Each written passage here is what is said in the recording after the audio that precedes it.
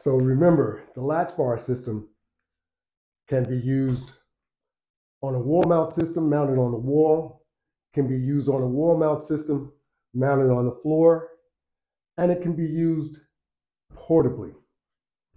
So if you want to take it with you when you go out, take it with you.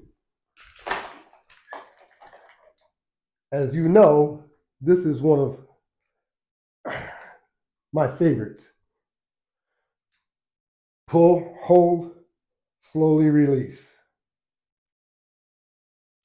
Pull, hold, slowly release. That way you'll get the most out of your resistance band workout. Pull, hold, slowly release.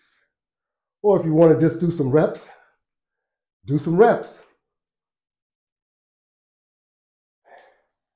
And always remember you can adjust the resistance to suit your workout.